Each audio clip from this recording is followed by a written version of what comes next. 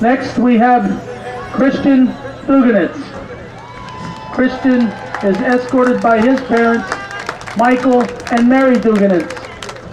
Christian is also representing Dylan Edmondson and Steve Latsha tonight on the field as he has been the entire season by wearing their wristband and armband.